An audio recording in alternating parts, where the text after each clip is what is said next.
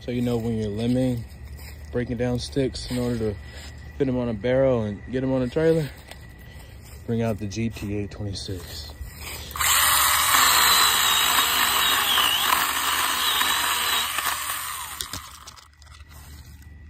Yes, sir.